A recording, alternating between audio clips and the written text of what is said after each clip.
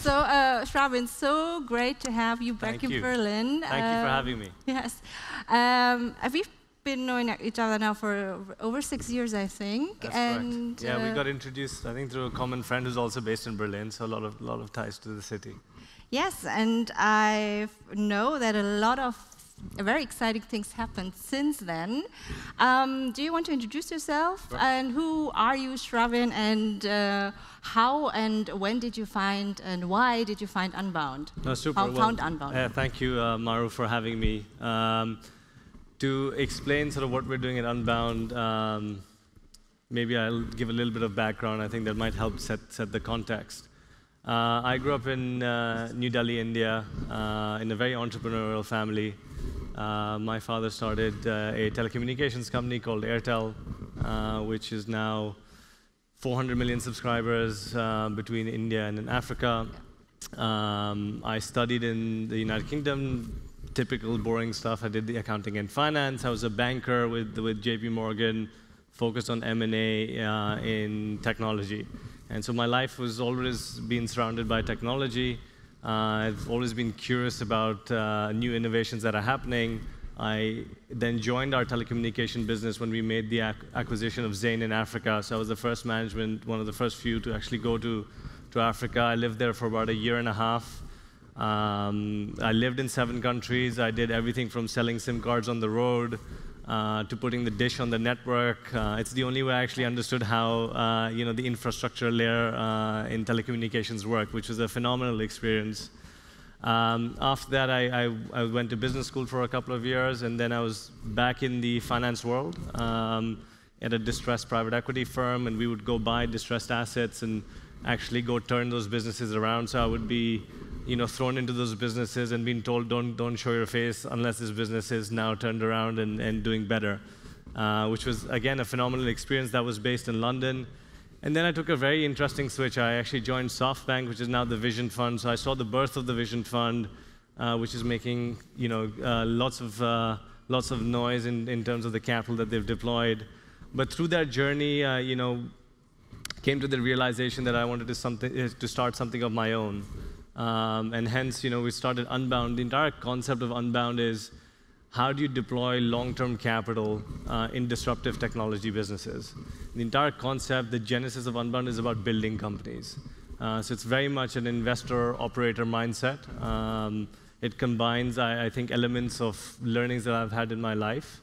Um, you know, Unbound was started 18 months ago. Uh, we've already invested in 10 companies. By design, we've stayed under the radar, I guess, until now, uh, thanks to you. Um, we're a global, uh, you know, investment holding company. Um, you know, we've uh, been, been lucky enough to invest in some great entrepreneurs. We've got two companies here. Uh, so Freight Hub and, and Omnius Freight Hub actually just announced their round of financing a month ago. Uh, we're, we're really excited about that. So Unbound is building and backing the next generation of 100-year companies. Um, why such, such a long-term uh, view? Again, it, it uh, goes back to a little bit of a historical context. In, in uh, the way sort of I've uh, been fortunate enough to be part of different organizations to actually build a business, uh, which is the core focus of Unbound, you're talking about at least a decade. And so for us, it's not about you know, investment for the sake of investment. It's like, how do you actually build a business? Yeah. And for us, you know, you have to take a longer term outlook. You have to have longer term capital. You have to be patient every business will have its own ups and downs, and you know one should not run scared if, if things don't go the way you plan it. Um, you know, for us, if you're looking at healthcare, how do you make um, you know medicines cheaper in emerging markets? Those are like fundamental infrastructural issues that will take a very long time to solve. And to solve that, you need a very different type of capital. Same thing with autonomous driving. I mean, if I would, I would imagine most of the people here would agree that autonomous driving will be in existence. The question is when. And we don't want to take that duration risk. What we do want to take is the technological bet that that will be in existence at, at some point in time, and, and hence the long-term view.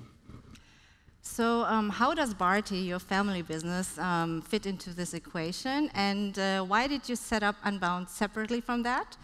And um, yeah, what differentiate, differentiates it from uh, your family holding company? No, I get, I get uh, asked that question a lot. Um, So I, am lucky enough to be, uh, you know, wearing two hats. Um, the, the primary hat of my life is Unbound. Um, and as I explained, we're investing in disruptive technological businesses. Bharti, um, I'm, I obviously was part of the uh, family telecommunications business. I sit on the board of our, our, telecom business in Africa, sit on the board of some of our other smaller telecom companies.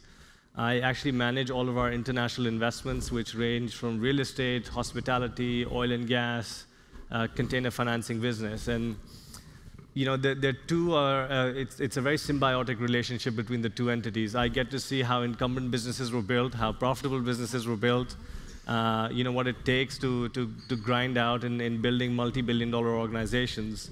And those businesses will likely be enabled or disrupted by technology. Yeah. And, uh, and hence, you know, Unbound has to have a mind of its own, has to have, you know, the right incentives of its own, has to have a, um, a team that's totally independent in, in Mindshare because we are sitting in, in a very unique vantage point where we can see the incumbent businesses and we can see what's disrupting um, the incumbent businesses and we can look at the technological business and say, okay, what are you actually doing that the incumbents are not able to do?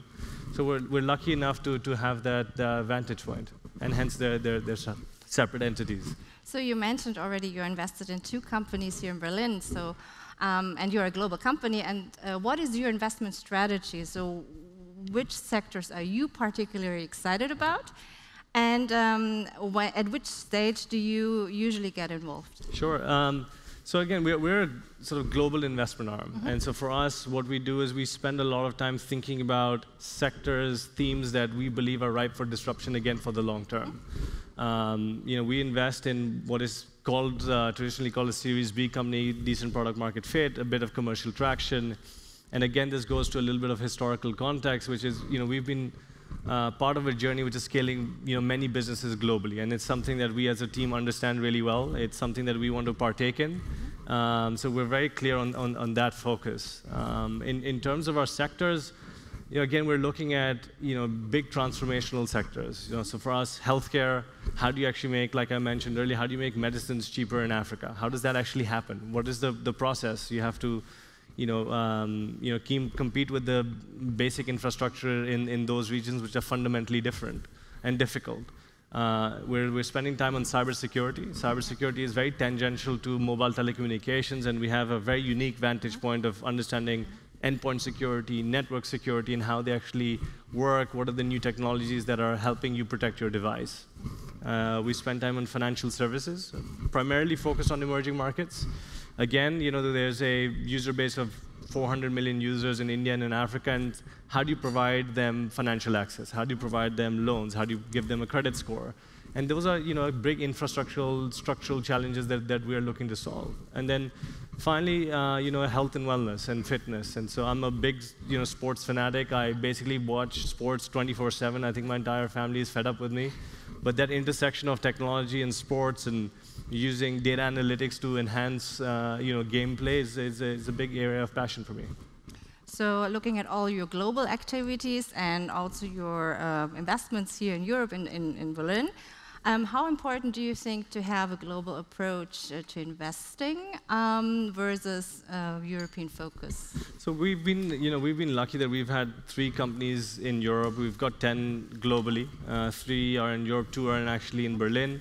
You know, our view is we take a very uh, thematic view, and this is sectoral view. Is if we're looking at, uh, you know, cybersecurity, where are the best cybersecurity coming from? Mm -hmm. Uh, where's the, the right uh, companies being formed? Same thing with healthcare or financial services.